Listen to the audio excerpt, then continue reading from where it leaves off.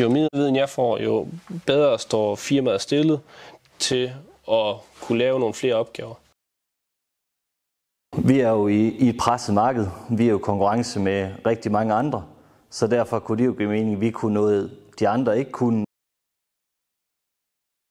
Det giver mig nogle øh, flere kompetencer til at kunne lave flere forskellige ting, i stedet for at jeg bare går og laver det samme hver evig eneste dag. Det giver også mere glæde i hverdagen, at man ligesom kan komme til at øh, lave noget andet, i stedet for at man bare øh, sætter stikkontakter op eller, eller sætter lamper op.